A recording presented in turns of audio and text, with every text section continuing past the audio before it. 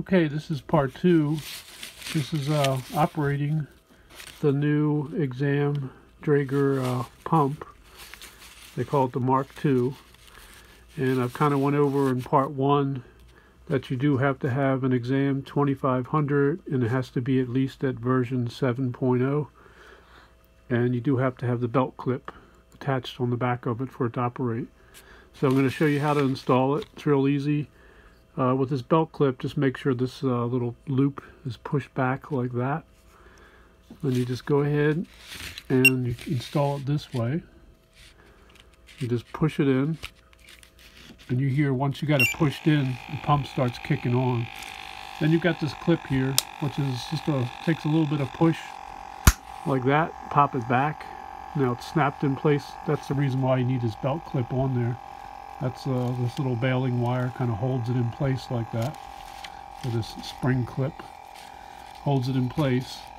And you just turn it over and you can see it's asking you to do this uh, block test. So you go ahead and do your block test. And then you'll see it says to unblock it. And you go ahead and you unblock it. And now it's all ready to go. And that's basically it. Um, if you want to shut it off, you can shut it off by turning your air monitor off and it'll also shut off the pump.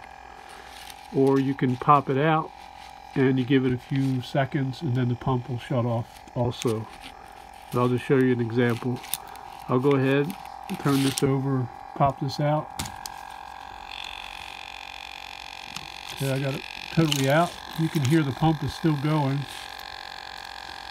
And if you just give it a minute or so, the pump will shut off. Okay, now it's shut off. So you can do it that way. Or uh, I'll pop this back in. You can see it one more time. Okay, you make sure the loop is pushed up. Get the strap out of the way.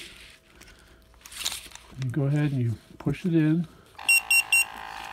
You go ahead and push this clip back. Flip it over.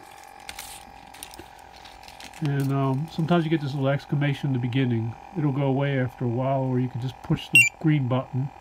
And now it's telling me my battery power. Push it again. You can see it tells you to do the block test. I do the block test. Okay, it says stop. I stop. And then everything goes back to working. And like I was showing you, you can go ahead and you can turn it off here. You just go ahead and turn your Draeger off your uh, air monitor off and you can hear the pump turned off also. So you can do it either way. And basically that's it. That's how you operate it. It's pretty much the same as the other one with the block test and everything